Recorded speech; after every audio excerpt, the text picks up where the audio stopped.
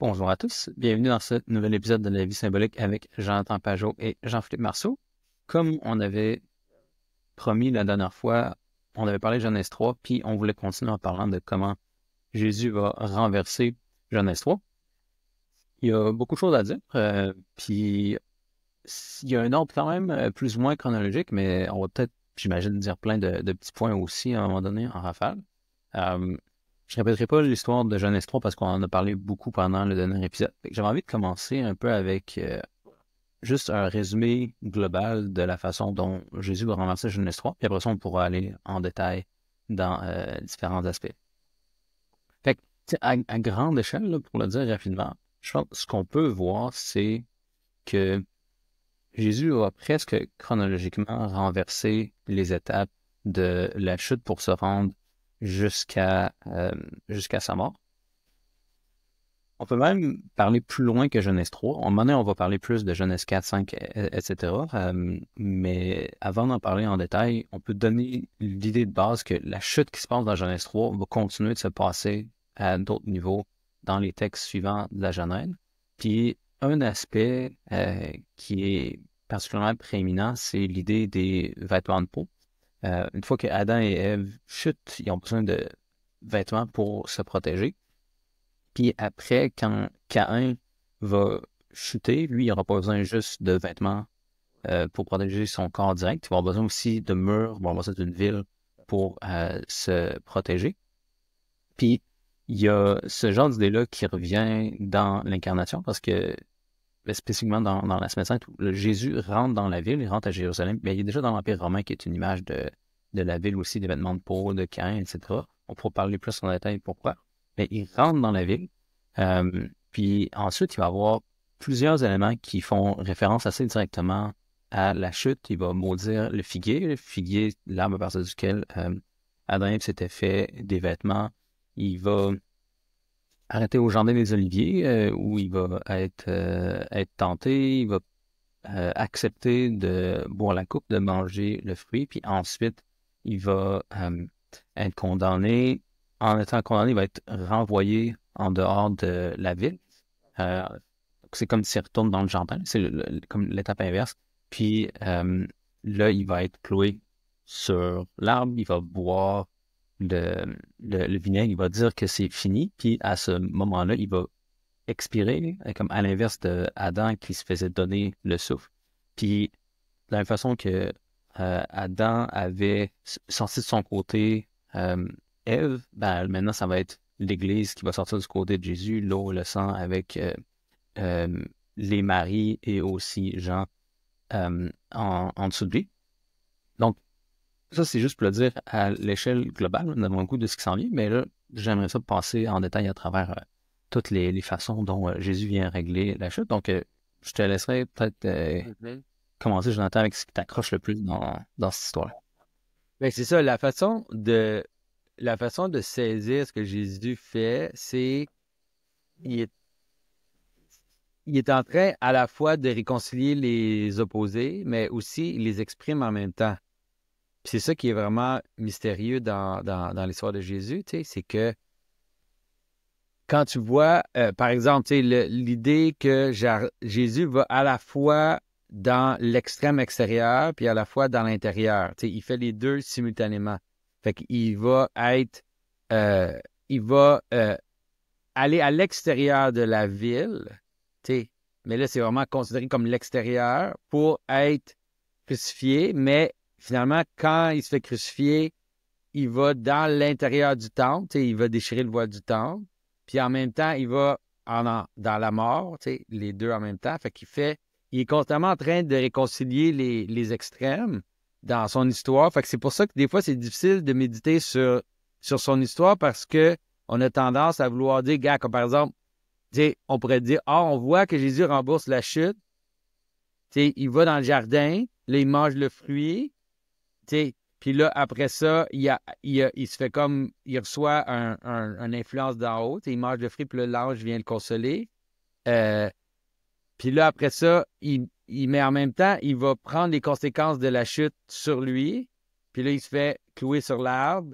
Puis à l'extérieur, fait qu'il va comme à l'extérieur de la ville, il se fait comme.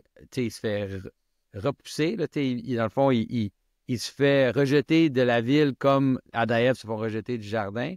Euh, c'est pour ça que c'est difficile de voir. Mais on peut voir que c'est tout relié ensemble. on peut voir que c'est toujours les, un aspect de l'histoire dans Genèse 3 qui est en train d'être comme réconcilié, répété. Euh, mais il faut vraiment porter énormément attention pour être capable de voir simultanément comment, comment il fait les deux en même temps. Euh, puis c'est pour ça que, par exemple, d'une de, la, la façon la plus simple de le comprendre, c'est que Jésus est à la fois en train de, défaire la chute, mais en même temps, il est en train de, comment je peux dire, il est en train de prendre la chute sur lui. Fait que lui, il, fait ce qu'Adam fait. Il dit, oui, il prend l'arbre de la, il mange l'arbre de la connaissance du bien et du mal, puis il meurt, comme Dieu a dit qu'il allait arriver à Adam et Ève. Euh, mais la façon dont il le fait, parce qu'il le fait par humilité, parce qu'il le fait pas par arrogance ou pour se donner quelque chose, parce qu'il le fait aussi en sachant vraiment ce que ça va lui apporter, c'est-à-dire qu'il va mourir. Euh, ben à cause de ça, il renverse la chute, oui, il transforme la chute en, gloire, euh, on pourrait dire, tu quand Saint Paul dit des affaires fous comme, tu Jésus est devenu péché pour nous, tu on a souvent l'idée, on pense souvent juste comme une sorte d'expiation du péché, mais c'est plus que ça ce que Jésus fait. Il fait une sorte, il fait en effet une sorte d'expiation, mais il est aussi en train de tourner, il est en train de, transformer l'acte d'Adam et Ève en quelque chose en fait qui nous apporte proche de Dieu. J'imagine que c'est pas si loin de la façon dont on. Si, tu dois réparer l'erreur que, que tu as fait ou que quelqu'un a fait, souvent, il faut comme que tu retournes. En fait, répéter un peu l'erreur avant d'être capable de la régler. Même très directement, je sais pas, tu t'en vas chez le médecin parce que tu t'es cassé quelque chose. Ben, il va commencer par en fait presque te recasser plus. Là. Il va comme te bouger comme l'os jusqu'à temps qu'il soit revenu correct, puis après ça, tu vas pouvoir le replacer. Mais ce genre de choses-là, je pense, arrive où tu vas régler, je sais pas, les, problèmes que, je sais pas, ton enfant, il a brisé euh, quelque chose à quelque part, ben, faut comme tu retournes à cette place-là, puis comme tu acceptes que c'est brisé, puis là, tu la replaces, puis là, tu recrées quelque chose à partir de ça. Mais j'imagine que c'est une structure globale, en fait. C'est pas si surprenant que Jésus doit faire ces deux choses-là s'il vient vraiment réparer la chute. Oui, c'est ça. C'est juste que c'est difficile à. Comme j'ai dit, il faut vraiment être très concentré pour être capable de le voir, euh, bien capable de, voir la, dualité de ce que Jésus fait.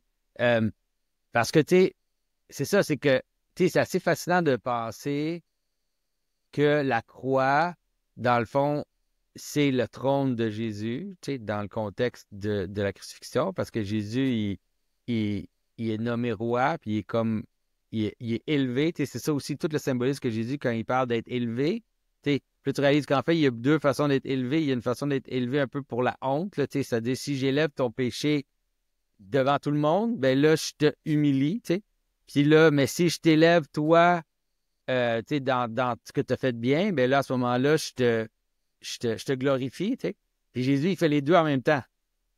Tu sais, il se, il se fait glorifier. Tu sais, quand il, avant, avant la, la, la, la, il dit, tu sais, c'est d'ici que son, ton fils va être, va être glorifié. Tu sais, que le fils de l'homme va être glorifié. Mais tu sais, il est, il est humilié dans le fond. C'est ça, c'est pour ça que je te dis que c'est vraiment difficile de, de focuser parce que il fait toujours les deux simultanément. Euh, mm-hmm. C'est pour ça que ça a l'air de, de, de, quoi? Ça a l'air, là, tu sais.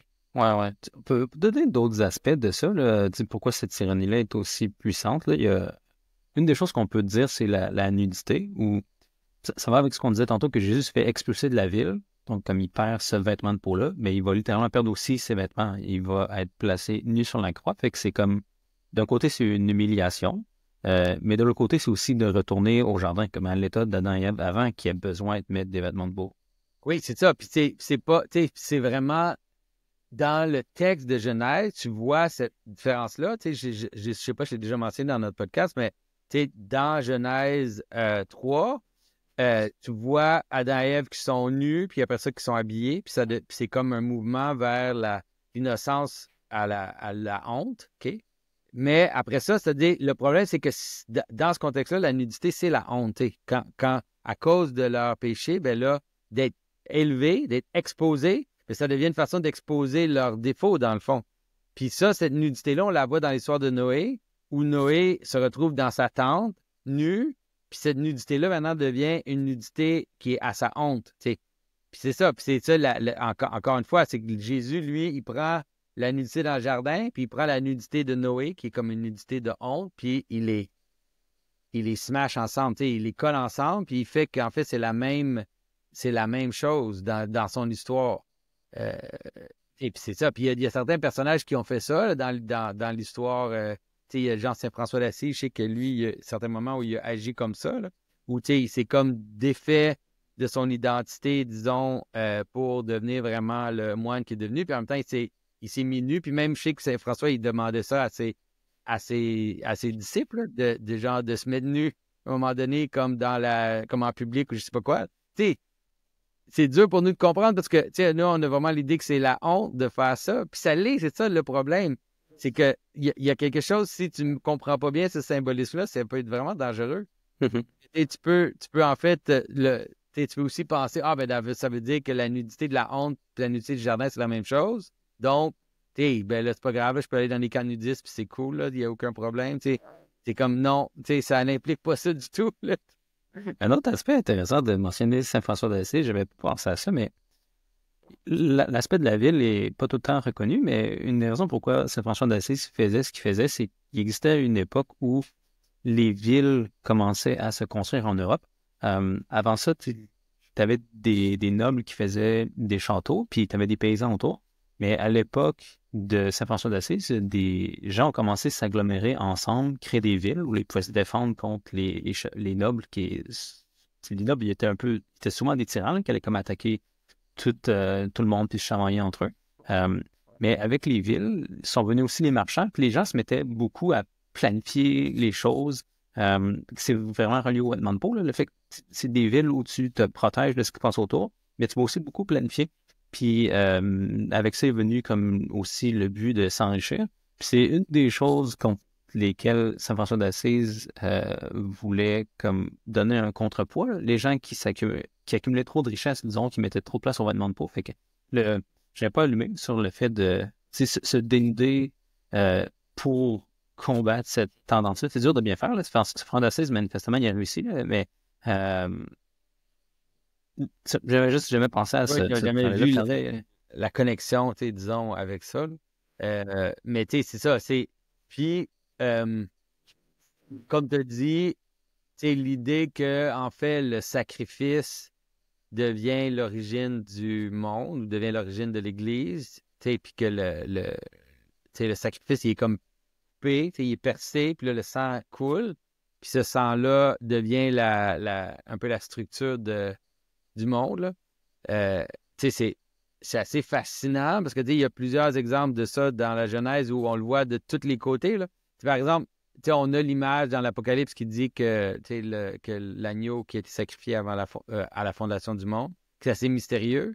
Mais il y a aussi l'image d'Abel euh, qui est assez mystérieuse dans ce contexte-là, où, d'une certaine façon, Caïn, il sacrifie Abel, puis c'est la cause de la ville.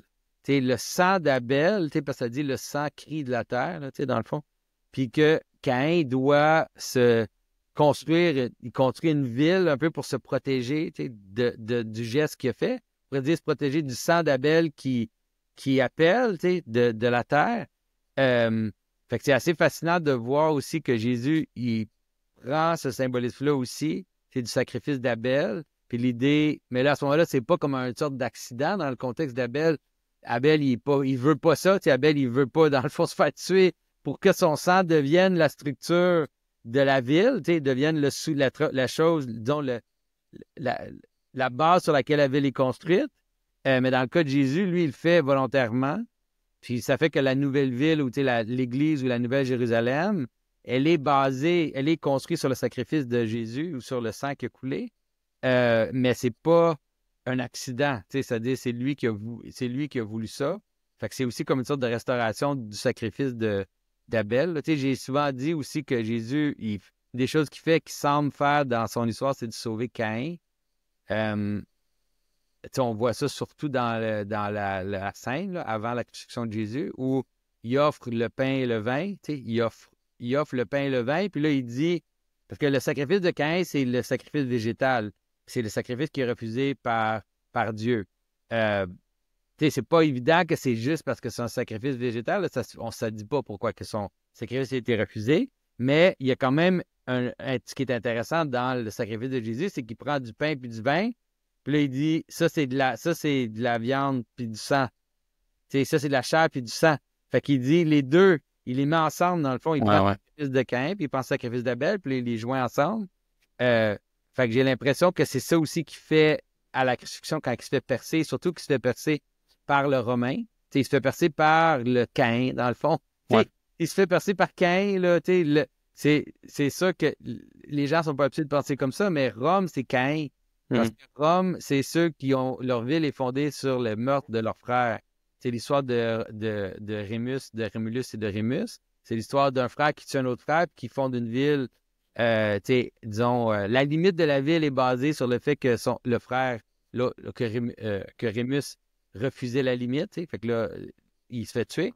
Fait que quand le Romain il perd Jésus, puis là, le sang coule, c'est vraiment une répétition du sacrifice de Caïn.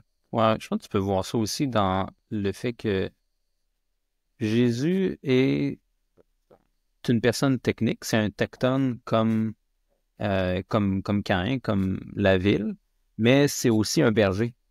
Euh, puis dans la vie, tu peux, tu peux voir que même dans sa vie, il y a peut-être un genre de progression là, où il a été un tectone pendant très longtemps. Puis là, les trois dernières années de sa vie, il était un nomade comme Abel qui s'occupait de ses brebis.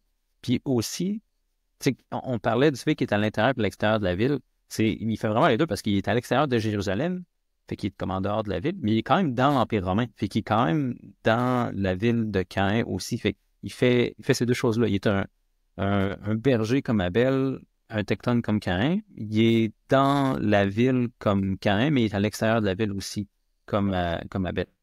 Ouais, non, c'est, ça. C'est assez intéressant de voir là, comment, comment que l'histoire. Puis on dirait que plus que tu la regardes, plus que tu vois les, les niveaux d'interprétation, comment l'histoire de Jésus est en train de refaire ou de reformer le, l'histoire de, Genèse, l'histoire de la chute.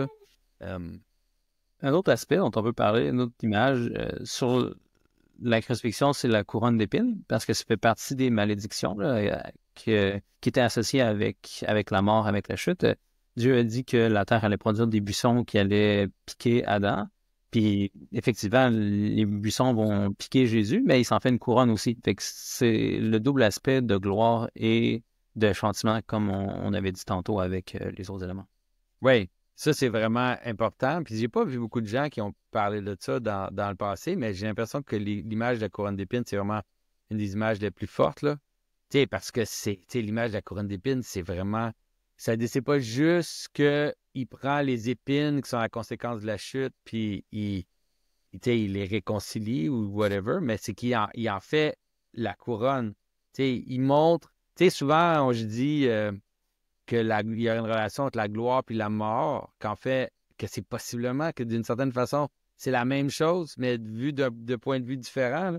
C'est-à-dire que la mort, la mort, c'est comme la multiplicité de toi. Toi qui tombes dans la multiplicité, on pourrait dire. C'est ton unité à toi, elle se défait en, morceaux.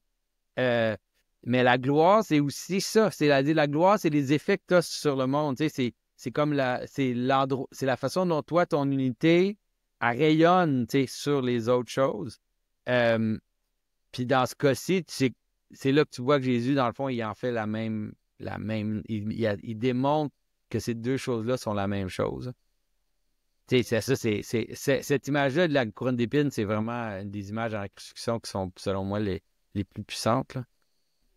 Un, autre, un autre aspect dont ça vaut la peine de parler, je pense, ce serait le jardin de, comme ça dit en français, Gethsemane. Oui. Euh, toi, en plus, tu es déjà allé, là, je pense, à Jérusalem, euh, au jardin, il y a deux, trois ans. Et dans, ça, dans le jardin, dans l'histoire, dans la section qui parle du jardin de Gethsemane, c'est c'est assez important de comprendre que le jardin, probablement, c'est sur une colline. C'est pas. Euh, tout est là-bas et comme des gens de colline. Fait que le jardin, il est en haut. Fait que là, la façon que ça décrit dans le texte, c'est que Jésus, il, il monte. Il monte vers l'endroit où il va prier. Puis l'endroit où il va prier, en tout cas traditionnellement, là-bas au jardin de Gethsemane, c'est comme une grosse pierre.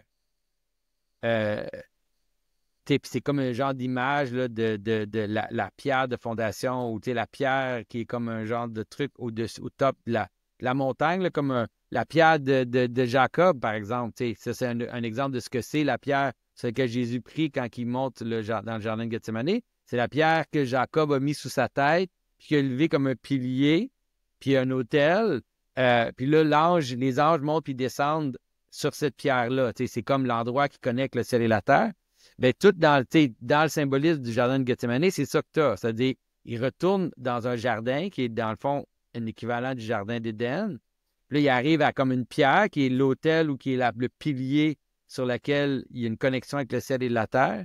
Puis là, quand il accepte de manger le fruit de la connaissance du bien et du mal, quand il accepte de boire la coupe, bien là, il y a des, un ange qui descend. C'est pas, pas arbitraire, c'est-à-dire c'est vraiment pour te faire penser à l'idée de Jacob puis l'ange qui monte, qui descendent euh, sur cet endroit-là en particulier. Euh, fait qu'il y a vraiment, il y a vraiment une imagerie importante à comprendre. Puis là, tu sais, ce, ce qui arrive, c'est que Jésus, il aussi, il démontre la chute dans la structure entre lui et les disciples. Fait que là, lui, ce qu'il dit, c'est que je vais aller au. Pensez-y, c'est comme Moïse. Il dit Je m'en vais au sommet de la montagne, je m'en vais au top où il y a la pierre qui connecte le ciel et la terre. Puis là, je m'en vais prier. Puis là, il dit Vous, vous êtes en bas. Il dit Endormez, restez attentifs, soyez pas distraits. Il est en train de dire, dans le fond, à, à, à, à Aaron, de ne pas faire de vos d'or. Il est en train de dire là, ne faites pas la fête, ne soyez pas distraits. Là même si moi je monte en haut pour aller prier, ben là, vous ne soyez pas distrait. Il répète aussi la, structure de l'image de l'histoire où il marche sur l'eau, où il, monte sur la montagne, puis là, pendant qu'il est sur la montagne, ben là, les disciples, eux, il y a une tempête sur le bateau, puis là, ils paniquent. Euh, mais tu vois, là, là il, monte, puis là, les disciples, ils, meurent. Ils s'endorment. Puis là, il fait ça comme trois fois pour montrer vraiment la relation entre le haut, le ciel, le paradis et tout, puis la mort, ce qui est en bas, ce qui est la distraction, ce qui est, ce qui est la confusion, ce qui est toutes ces choses-là. Euh, fait que c'est vraiment puissant, là, il répète vraiment la structure de, de, tout ça. Puis là, là, le serpent arrive, dans le fond. Euh, puis le serpent, il, il, maudit, il maudit Jésus. Puis il trahit. Puis il l'embrasse, ça, c'est aussi assez particulier. Euh, comme, euh, tu même ça, moi, je le comprends pas totalement. Je me rappelle pas de ce bout-là, le, le, oui, Judas, c'est Judas. ok, c'est bon. Judas arrive, puis là, Judas, il arrive avec les Romains. Dans le fond, il amène les, il amène les, les étrangers. Puis là, il vient, puis là, il arrête Jésus, tu sais, en l'embrassant. Mm Même cette affaire-là, ah, embrasse, euh, qui embrasse Jésus, je le comprends pas super bien. La seule façon que je le comprends, c'est le rapport avec Moïse et Aaron. C'est la seule façon que je le comprends. C'est-à-dire, parce que quand Moïse il rencontre Aaron, ça dit qu'il s'embrasse. Puis il, se rencontre, Aaron, il vient le rencontrer comme dans la montagne. Euh, puis là, il s'embrasse. Puis j'ai toujours pensé que ça avait rapport avec ça. Parce que la structure de l'histoire, c'est clair qu'elle a rapport avec, l'Exode. Puis l'idée que Jésus est comme Moïse qui va en haut, les disciples sont distraits en bas. Puis là, ça, ça l'amène le traître. Comme Aaron il a été le traître, euh, comme Pierre va nier Jésus, la distraction a le rapport avec le fait que là, aussi le fait que les disciples s'éparpillent. Quand les Romains ils arrêtent Jésus, ça dit que les disciples se sont dispersés. Parce que là, tu sais, dans le fond, la tête, elle a été prise, puis là, eux, ils, se dispersent. Là.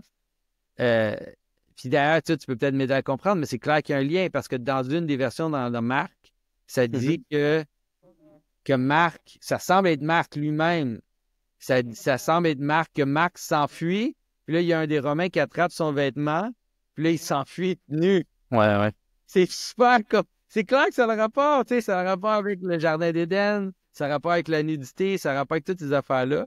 Mais tu sais, c'est un peu étrange parce que là, il s'enfuit, puis là, il s'enfuit nu dans le fond. C'est comme la honte, j'imagine que c'est ça l'idée. sais, Il part dans la honte d'avoir abandonné le, la montagne. Il est exposé dans sa honte. Là. Mm-hmm. Ouais, ouais. Mais je comprends pas exactement le, lien entre le jardin de Gethsemane et la crucifixion parce que on dirait c'est comme une répétition. Il faut vraiment que tu comprennes les histoires comme des, comme des, des, des, des sortes de petits cycles, Mhm. puis qui se réfèrent l'un à l'autre, puis qui, c'est, comment je peux dire, qui démontrent le sens des, de l'autre. Tu euh, tu pourrais dire, là, dans l'histoire de la. C'est comme ça que les histoires fonctionnent.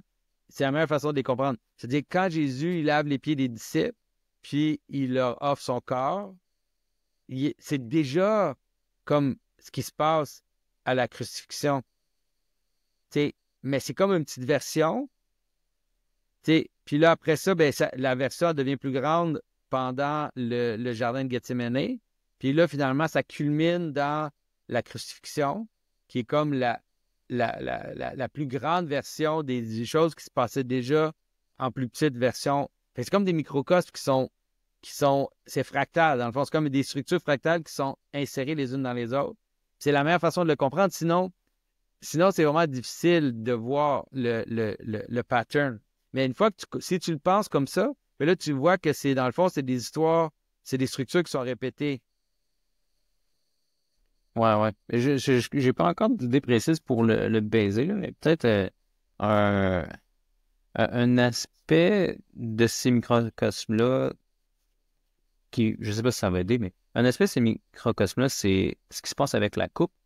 Euh, il y a, clairement un lien entre la coupe et euh, l'arbre du fruit, puis le sacrifice. Puis une chose que j'avais pas en- entendu jusqu'à assez récemment, c'est que dans l'histoire, ça a rapport avec Moïse aussi, fait que je sais pas si ça va aider, mais dans, euh, dans le, rituel de la Pâque juive à faire euh, pendant l'Exode, puis que les Juifs vont continuer à faire à chaque année, que euh, quatre coupes euh, que tu vas boire, quatre coupes de vin à différents moments de, la cérémonie.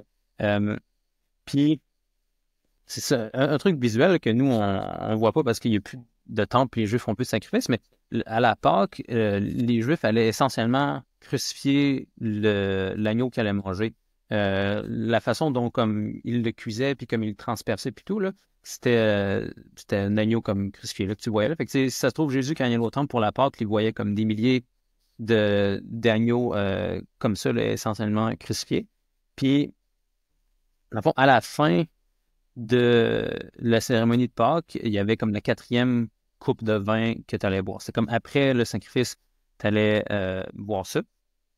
Puis, quand j'ai passé un truc bizarre, là, à un moment donné, dans la dernière scène, Jésus dit à ses disciples qu'il ne boira plus de, de vin avant d'être rendu dans son royaume. Euh, puis il y a comme des moments même, je pense, où il se fait offrir du vin euh, avant la crucifixion parce que c'était commun quand tu allais être euh, crucifié comme tu allais recevoir. Mais Jésus, il refuse. Puis il va prendre, en fait, le vinaigre euh, sur la croix juste avant de mourir. Puis c'est une fois qu'il prend ça qu'il dit que c'est terminé. C'est comme le repas. Le, l'exode est terminé vers pour sortir euh, d'Égypte euh, est terminé. Puis aussi le, le rituel de la Pâque où on, on tue l'agneau euh, est, est réalisé. Donc il y a plein de références entremêlées, là, mais Oui, parce qu'il boit aussi la coupe. Il parle de boire la coupe quand il est, il est dans le jardin de Gethsemane. Là. Fait que là, tu as comme, t'as comme la coupe de, la, de, de, la, de la, la, la scène, quand il Mhm. la, la scène avec ses disciples. Puis là, ensuite, tu as la coupe qui est présentée au jardin de Gethsemane. Euh, puis à la fin, ben là, tu as le fiel ou le vinaigre que, que Jésus boit avant de, de mourir. Euh, puis, tu sais, c'est sûr que, le, le, le, le- la coupe qu'il boit avant de mourir, c'est, c'est, c'est du vinaigre, là, parce que du vin, c'est déjà dans, c'est déjà du- le processus de devenir du vinaigre, mais c'est pas encore du vinaigre. Tandis que le vinaigre, c'est comme la, tu sais, ça n'a plus de, ça n'a plus la fonction du vin quand ça devient du vinaigre, tu sais, c'est, vraiment juste la, juste la mort. c'est comme la, c'est juste l'amertume qui reste, l'aspect vraiment amer de, de, du, de- du vin, tu sais, de la, de, de la putréfaction, on pourrait dire. Là. Euh, fait que c'est sûr qu'il y a un lien avec ça. là. Puis il y a un lien aussi avec, je connais mal, malheureusement, il faudrait que je re- regarde encore, mais il y, a, comme des coupes aussi dans, le contexte juif, des coupes différentes. Il y a comme la coupe de vin, mais il y a aussi une coupe qui est comme la coupe épicée. il y a comme une coupe de, vin avec comme des épices dedans, qui est comme qui est mousseux, je sais pas trop, là, qui est comme pas, euh, qui est une coupe un peu, euh, dire, qui est, euh, qui est pas pure, qui est comme, mais tu sais, c'est ça, mm-hmm. je ne je pas trop j'en parle parce que ça fait longtemps que j'ai pas regardé ces, ces textes-là. Mais mm-hmm. oui, en effet, c'est là, on pourrait même regarder, on pourrait regarder dans la structure du, du, texte, là, la, la relation entre le, le fait que quand Jésus s'est arrêté, puis que son corps se disperse, puis qu'un des disciples se retrouve nu, que c'est comme déjà une petite version aussi de ce qui arrive sur la croix. C'est-à-dire, il, se fait prendre, il se fait élever, puis son corps meurt, euh, puis tu es nu sur, sur, la croix. Euh, c'est comme, tu veux voir que c'est des, puis ah, tu déjà à la, à la, hum, pendant la scène, parce que tu n'aurais pas obligé d'avoir ça, mais pendant la scène, Jésus, il dit à Pierre, tu vas tu vas me nier. Il dit à Judas, tu vas me trahir. Tu c'est comme, ouais, ouais. après, dans, dans l'histoire, que ça, devient, ça grossit, jusqu'à temps que Jésus se fait crucifier. Tu n'aurais pas, pas eu besoin, ça, au niveau narratif de Jésus, qui dit à Pierre qu'il va le trahir, ou qui dit à Judas qu'il va le. C'est pourquoi Jésus fallait qu'il leur dise. Euh, c'est comme si c'était déjà l'histoire qui était en train de se. Un peu comme si Jésus il dit la chose, il fait au niveau. Il fait quasiment dans un sens, au sens rituel, rituel qui crée le monde. il fait comme. Il dit voici le monde, voici ce qui va arriver, puis voici au niveau rituel, voici au niveau de, de toi, je te nomme, Pierre, tu vas me nier, toi, Judas, tu vas faire ça. Puis là, après ça, la pièce de théâtre, elle, joue. Puis là, ça, ça devient finalement la, la, la, crucifixion. Pas pour, pas pour dire, quand je dis pièce de théâtre, ce que je veux dire, c'est ça démontre que Jésus, il est comme l'origine du monde. C'est que Jésus, il est comme. C'est lui qui les a choisis aussi, ceux qui vont le trahir et ceux qui vont le, le, le nier. Là. Mm-hmm. Ouais, ouais. Non, il faudra que je continue à réfléchir euh, au, baiser. Euh, on dirait que j'avais jamais trouvé ça plus bizarre que ça. Mais, ouais, mais euh, moi, je pense vraiment que ça a le rapport avec Aaron, parce que parce que c'est ça, c'est l'idée, dans le fond, c'est l'idée que Judas, son rôle, c'est de représenter Jésus, tu sais, comme tous les disciples.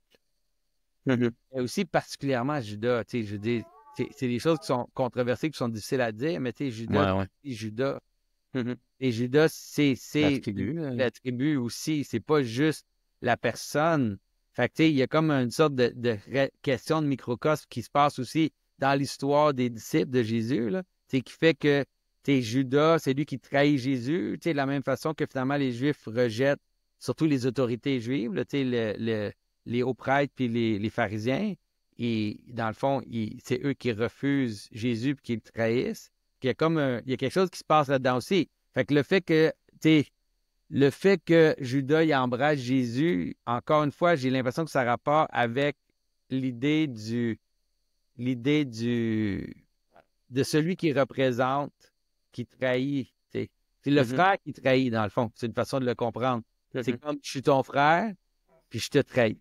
Mm-hmm. puis avec l'hypocrisie aussi. Comme l'histoire de Joseph aussi. C'est la histoire de c'est aussi Judas.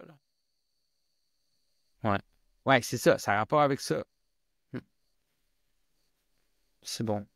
Un autre, euh, à moins que tu aies d'autres idées, on peut continuer à, parler de, d'autres aspects. Là. Oui, oui, oui. oui. Euh, un sur lesquels je ne sais pas si tu aurais d'autres trucs à dire, mais je pense qu'il y a un parallèle. Euh, c'est la, la, seule explication à plus grosse échelle que je vois, c'est vraiment parce que Jésus, comme d'un côté, il va faire l'histoire en envers, mais Adam est né en étant élevé de terre, puis ensuite en recevant le souffle. Mais dans la crucifixion, ça semble être exactement l'inverse. Euh, où Jésus est élevé sur terre avec la croix, puis il va rendre le souffle.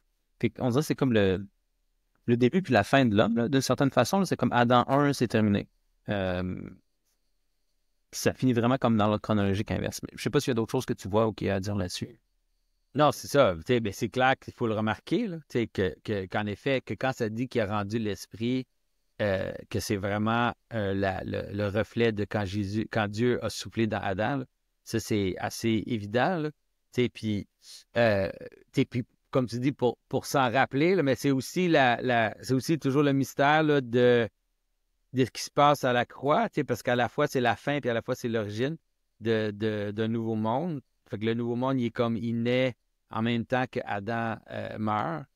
Euh, fait, ouais, c'est ça. Il n'y a pas grand-chose à dire à part qu'il faut le remarquer. Il faut voir que c'est ça qui se passe. C'est une des choses qui, se passe dans l'histoire.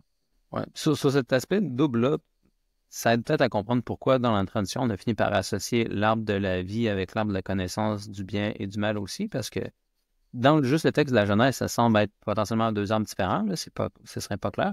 Mais parce qu'on voit ces deux aspects-là dans la crucifixion, ben, on a fini par coller les deux oui, les coller. Mais tu sais, il y a des traditions intéressantes. Là. Par exemple, dans la, dans la légende dorée, euh, ça suggère que l'arbre, il est, il est fait soit de l'arbre de la connaissance du bien et du mal, ou soit que, que la croix, c'est soit carrément là, une branche de l'arbre de la connaissance du bien du mal ou une branche de l'arbre de la vie. Puis des fois, il y a des traditions qui disent que la, le vertical de la croix, c'était l'arbre de la, de la vie, puis que l'horizontal de la croix, c'était l'arbre de la connaissance du bien et du mal. Là, ça a du sens, là. Tu sais, quand tu comprends un peu c'est quoi le rôle des deux arbres dans la Genèse.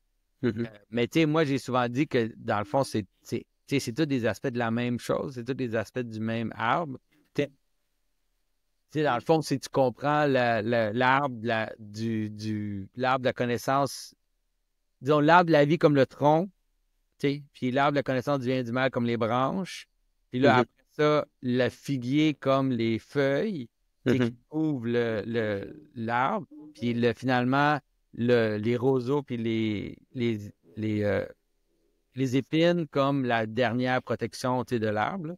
Mm-hmm. Ça, ça donne un peu une idée plus c'est plus l'idée de comprendre une structure. Tu as comme une structure qui a comme quelque chose qui est central, puis là, tu as comme les conséquences de dualité qui sont liées à la chose centrale.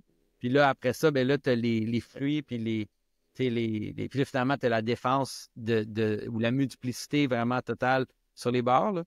Euh, fait que c'est pour ça que, que je pense que c'est normal que dans les traditions, on a tendance à, à confondre les deux. Tu sais. je ne sais pas si on avait regardé. On avait regardé la dernière fois l'image de. Est-ce qu'on avait regardé? Je me souviens plus. Je ne me rappelle pas. Tu faisais visuellement? Une image, oui, c'est une icône, une image médiévale où on voit euh, l'arbre l'arbre de la connaissance du bien et du mal. Puis là, d'un côté, tu as Ève, qui a comme, qui a comme des, il y a comme un crâne, il y a comme des crânes dans la, dans l'arbre.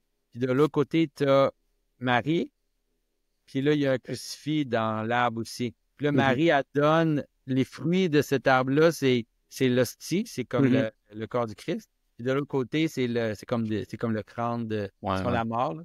Euh, fait que tu peux voir que dans le symbolisme chrétien, c'était cette réflexion-là, elle s'était, faite. Mhm. Puis tu peux le comprendre aussi de, de dire que l'arbre de la, l'arbre de la, de la vie, puis là, après ça, tu as l'arbre de la connaissance du bien et du mal, mais tu peux aussi le comprendre comme l'arbre de la vie et de la mort. Puis, tu sais, même dans la Bible, il y a des endroits où, où c'est présenté comme ça. C'est que tu as comme la vie, tu as comme l'arbre de la vie et la mort. Mais c'est ça, c'est ça, c'est ça, la, ben, c'est ça la structure du monde, c'est comme ça que ça fonctionne. Tu as, comme, disons, dans n'importe quoi, tu as l'identité, la chose qui fait que ça existe. Puis là, une fois que tu tombes dans la dualité de cette affaire-là, peu importe c'est quoi, ben, tu as un aspect qui est le proxy, qui est comme le représentant de l'identité, qui est le bien de cette affaire-là. Tu as un aspect qui est comme ce qui n'est pas l'identité ou l'extériorité ou le mouvement vers l'extérieur. Fait que tu peux comprendre que dans, la, dans le Jardin d'Éden, c'est ça déjà. Il y a déjà cette, mm-hmm. ce mystère-là qui est impliqué dans l'histoire. Ça peut être un peu complexe pour les gens de comprendre ça, là, mais en tout cas, méditez sur ça, vous allez. Oh, j'espère que vous allez pouvoir trouver des exemples. Euh, une couple de choses qu'on a mentionnées là, c'était. Euh, ben, on a mentionné Marie, euh, son lien avec Ève, puis j'aurais envie de revenir euh, sur l'idée de tentation avec la. Dans, l'histoire de Jésus, c'est revenu une couple de fois. Avant de commencer son ministère public, Jésus s'est fait tenter 40 jours dans le désert. Après ça, il y a encore la tentation quand il est dans le jardin. Puis finalement, il prend la coupe. on voit comment Jésus était tenté, puis qui accepte de réparer les fautes d'Adam du côté de Marie, je sais pas si tu avais des idées de c'est quoi le parallèle exactement, comme à quel point on peut le pousser. C'est sûr qu'il faut qu'au début, elle dise oui, mais Euh, dans la Ève. Oui, oui, mais l'histoire, les, les gens qui veulent trouver le parallèle entre Marie et Ève dans la, Bible, l'histoire, c'est dans le mariage de Cana. C'est là qu'on voit le plus le parallèle entre Marie et Ève parce que parce que elle est elle tente Jésus vers sa mort dans l'histoire de du mariage de Cana. Fait que là, tu es un mariage, puis là, Jésus, tu sais, une façon, une façon de comprendre ce qu'elle fait, c'est qu'elle présente à Adam un problème qu'il n'est pas capable de résoudre. elle lui présente la, la, connaissance du bien et du mal, mais il n'est pas prêt pour ça. Fait il le prend de façon inappropriée, puis à cause de ça, il tombe dans le problème. Au lieu de résoudre le problème, il tombe dans le problème. Fait tu peux comprendre, la réalité, c'est toujours ça fonctionne. La réalité fonctionne toujours comme ça. C'est comme il y, a, quelque chose qui se présente à toi, puis là, si tu fais pas attention, puis tu essaies de résoudre cette chose-là ou de, ou de, de, euh, incorporer cette chose-là, si tu le fais pas de la bonne façon, ben ça va te défaire. tu prends du poison, c'est pas la bonne chose à manger, ben ça va te tuer. Mais c'est comme ça dans tout. Puis là, Ève, euh, Marie, dans l'histoire du, mariage de Cana, c'est génial parce qu'elle vient à Jésus, puis là, elle dit, elle dit, il y a pas, il manque de vin. Puis là, Jésus, il répond, il dit Mon temps n'est pas encore arrivé. Là, tu dis Mais c'est quoi le rapport? Pourquoi qu'il répond quelque chose comme ça? Elle, elle lui dit Il a passé de puis lui dit Je suis pas prêt de mourir. Mais c'est ça, c'est ça qui est en train de se passer. Elle est en train de lui présenter un problème qui va faire que là, Jésus va entrer sur le chemin qui va le mener à sa, à sa crucifixion. Fait que tu peux comprendre qu'elle est Ève qui tente Adam. Elle est, elle est Ève qui ouvre la porte vers la chute, mais là, c'est le contraire. Elle ouvre la porte vers la mort de Jésus, mais cette mort-là, c'est pas sa chute. Cette mort-là, finalement, c'est, c'est la rédemption du monde. Elle mm-hmm. joue vraiment un rôle extrêmement euh, important, là. Puis c'est mm-hmm. là qu'on voit le anti-Ève, là, un des, un des exemples de comment elle est comme le anti, euh, la anti-Ève dans l'histoire. Il y a probablement quelque chose avec le fait que aussi, spécifiquement, le miracle le rapport à du vin, ben puis, comme on disait tantôt, c'est la coupe que Jésus va boire, c'est directement relié à sa mort. Là. Puis Marie était là aussi, là, au pied de la croix, de la même façon. Euh. C'est intéressant que aussi, de la même façon. Il est en train de changer l'eau en, changer l'eau en, en vin. Tu sais, tu vas dire, il change l'eau en sang. Mm-hmm. il, Ou le vinaigre en sang. Il est en train de. Ben, c'est l'eau, c'est vraiment l'eau. Il est en train de prendre, il est en train de créer le monde. Mm-hmm parce qu'au début, dans la création, le monde est créé à partir de l'eau. Dieu dit il y a l'esprit, puis il y a l'eau. Le Dieu, il sort le monde de l'eau. Mais la, la fin de ça, c'est c'est quelque chose comme le, le, le vin, parce que le, le vin, c'est de la mort contrôlée, c'est ça le vin. Le, c'est pour ça aussi qu'il y a un lien entre la chute et le vin. Là, quand quand euh, Noé crée le mm c'est tout de suite au moment où il chute. Il, il, prend du vin, puis là, il, se retrouve nu dans sa tente. il y a comme un scandale qui est lié au vin. Le vin, c'est vu aussi comme c'est vu comme la, perte de soi, c'est vu comme la. la c'est toutes ces choses-là. le fait que Jésus il transforme le l'eau en vin, c'est déjà une image de la crucifixion. C'est déjà une image de, de, de sa mort ou de la mort contrôler parce que c'est pas pas juste la mort. Le vin, c'est pas juste la mort. Le vin, c'est la mort qui est tournée contre elle-même pour créer quelque chose mm-hmm. et, qui, est, qui est comme un esprit, on pourrait dire, qui est comme. Qui... Fait que c'est ça, c'est ça le, mystère de. C'est un des mystères de, de, la, du mariage de Cana. Mm-hmm. Ouais. Un, autre des aspects sur l'arbre du bien et du mal, euh, c'est pas directement dans l'histoire de la crucifixion, mais ça vient après avec les disciples d'Emmaüs, parce que les deux seules fois dans la Bible où tu as cette expression-là que leurs yeux sont ouverts, c'est quand Adam et Ève mangent du fruit, puis quand les disciples d'Emmaüs mangent l'Eucharistie. Euh, fait que tu as ce parallèle-là. C'est comme, on avait déjà parlé de ça plus tôt, mais il y a des gens qui associent exactement comme ce que Adam et Ève ont vu dans l'arbre du bien et du mal, puis Jésus sur la croix. Puis tu peux voir le parallèle là, entre autres, parce que Adam et Ève vont manger quelque chose euh, qui vient de l'arbre, mangent le fruit de l'arbre, puis c'est ça que les disciples d'Emmaüs vont faire aussi. L'âme, c'était la croix. Euh, puis là, ils mangent l'Eucharistie. Leurs yeux sont ouverts. Mais là, c'est rendu positif. C'est plus une occasion de chute. En fait, c'est le contraire. Les disciples d'Emmaüs, c'est comme s'éloigner euh, de, de, Jérusalem. Puis là, ils vont euh, retourner après avoir vu ça. Donc, oui, puis aussi, dans l'histoire, dans l'histoire des. Oui, ça, c'est c'est il y, a la même aussi euh, il y a un lien semblable qui se passe dans la, pêche miraculeuse là, après la résurrection où, où Jésus il, il, sauve, il sauve Pierre, là, il restaure Pierre, mais c'est assez fascinant parce que Pierre, il fait, il fait en, on je sais pas il fait en mettant un, en mettant un vêtement, qui est comme tout nu dans la barque. Puis là, il met son vêtement, puis là, il saute dans l'eau. Puis là, il, fait comme mourir, dans le fond. Il accepte de mourir, on pourrait dire. Puis là, il sort, parce que là, Jésus, en plus, il l'appelle encore fils de Jonas. Il dit, il dit, tu sais, après qu'il sort de l'eau, il dit, Pierre, fils de Jonas. Tu Simon, fils de Jonas, c'est comme, regarde, c'est clair que c'est un rapport, là. C'est pas, pas arbitraire que Jésus l'appelle fils de Jonas, là, au moment où il sort de l'eau. Euh, mais ça a le rapport avec ça, le fait qu'il met le vêtement. Euh, ça a le rapport aussi avec le fait que, que dans l'histoire de Jonas, Dieu, il sauve la ville. Mm-hmm. Dieu, il sauve, il sauve, la, il sauve la, la, la, ville de Ninive. Mm-hmm. Ça, ça c'est clair que ça a le rapport ensemble. Mm-hmm. C'est comme, comme, une sorte d'inversion de la chute où les vêtements de peau deviennent des vêtements de gloire, dans le fond, où on peut transformer les vêtements, l'extériorité, peut transformer l'extériorité en gloire, pas en, en mort. L'extériorité, c'est la mort, parce que c'est pas toi, mais ça peut aussi devenir comme la, de la lumière qui sort de toi. Là. Il y a quelque chose que je comprends pas là, c'est quand même. J'avais pas pensé comme au fait que dans le bateau, avant la pêche miraculeuse, Pierre, il voit pas, c'est qui, il, voit pas Jésus, puis il est tout nu. Ouais. Il y a clairement quelque chose qui a, qui a rapport à Adam et Ève dans le jardin. Là. non, c'est ça, mais c'est ça, c'est vraiment la transformation de la chute. Fait que c'est pas, c'est pour ça que c'est important de voir que Jésus, il fait pas juste retourner dans le jardin. Oui, retourne dans le jardin, mais ce qui nous amène, c'est plutôt la Jérusalem céleste. C'est-à-dire que c'est le jardin et la ville.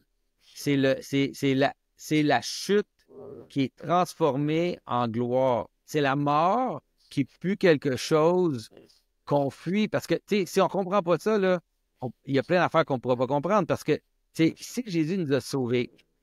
D'abord, pourquoi que les chrétiens meurent?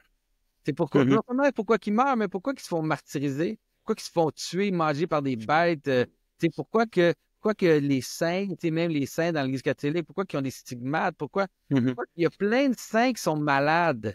Ouais. Plein, plein, plein, plein, plein qui passent leur vie à être malades, qui sont couchés dans un lit, paralysés. Euh, tu te dis, ben c'est quoi cette affaire-là? C'est quoi cette religion-là?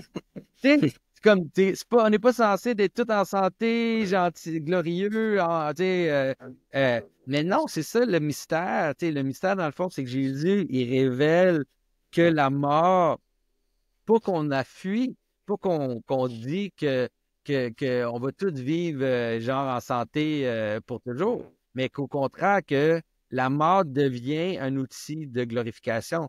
Puis Jésus, il dit déjà dans la dans l'histoire de l'aveugle-né, quand les gens lui demandent, ils disent, disent, pourquoi, c'est qui qui a péché pour que cet homme mm-hmm. soit né aveugle, c'est lui ou ses parents? Puis là, Jésus, il dit, non, il est aveugle pour que, pour manifester la gloire de Dieu. C'est comme, oh, OK, mais là, ça, ça change tout. Ça veut dire que quand Saint Paul, il dit, c'est dans ma faiblesse, dans le fond. C'est dans, dans les choses qui me manquent que la gloire se manifeste parce que la mort est transformée, et la mort est devenue d'autre chose. Et ça, c'est vraiment pas la même affaire que. Et on a comme l'idée, disons, on a quand même aussi l'idée de la résurrection, puis que du corps, du corps, euh, du corps ressuscité qui n'est pas, euh, mm-hmm. pas dû à la corruption, mais il y a quand même une image que dans, la, dans quelque chose comme la corruption, dans ce monde, il y a un secret c'est comme, c'est comme une fente, c'est comme une craque pour que la gloire de Dieu puisse passer, quelque chose comme ça. Mm-hmm.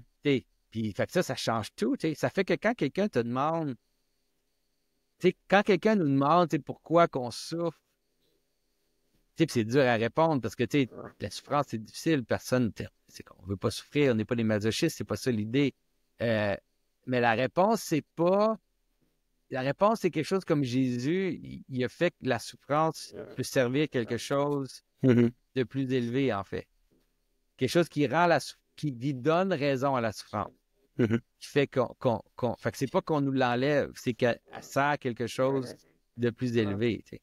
Mhm. Tu sais, Quand tu lis les saints, tu sais, c'est insupportable. Moi, je trouve ça insupportable. Tu sais, tu lis des saints qui sont comme paralysés, tout ça, tu sais, qui, qui, tu sais, qui saignent, puis plein d'affaires horribles. Puis là, tu dis, puis là, quand tu lis ce qu'ils disent de leur expérience, c'est comme non, c'est. Ils veulent même pas guérir. Tu sais, ils veulent même pas être guéris. Ils disent, non, non, c'est, je veux pas être guéri parce que ça, c'est comme un peu une sorte de. C'est comme par. C'est par ça que je vis en Dieu. Tu sais, tu- Mhm. c'est, c'est dur. Mais, mais en même temps, ça, tu sais, quand tu. Juste à, à méditer sur ça un peu, ça nous aide à comprendre un peu plus c'est quoi le christianisme parce que sinon. Sinon, ça n'a pas de sens. Sinon, il y a plein d'affaires qui sont, sont weird. Ouais.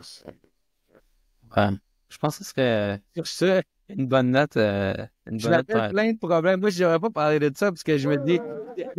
Quand, quand je commence à comprendre ce symbolisme-là, je me dis, je ne vais pas en parler parce que, sais, moi, je vais me retrouver là. J'ai pas envie de, de trouver à, Un matin, t'es super malade. à saigner des yeux puis à remercier Dieu, tu sais, de je sais pas quoi, là. Sais, des trucs vraiment difficiles qu'on voit des fois dans l'histoire des saints parce que non, j'ai pas envie de ça. là. Vraiment pas. là. Mais je pense que c'était euh, mon épisode préféré jusqu'à date qu'on a enregistré. euh, c'est- Cool. c'est- c'est- je pense que c'était pas le plus simple. Là. Je vais voir comment les gens réagissent, mais euh, ouais, je trouve au niveau de quantité de mystère qu'il y a autour de, de Genèse 3 puis renverser Genèse 3 dans euh, la crucifixion, là, c'est pas mal euh, le plus intéressant, je trouve. Ouais. Ben, cool. Merci à toi. Ben, merci tout le monde, puis ben, on se revoit dans quelques semaines pour le prochain épisode. Salut tout le monde. bye. Bye bye.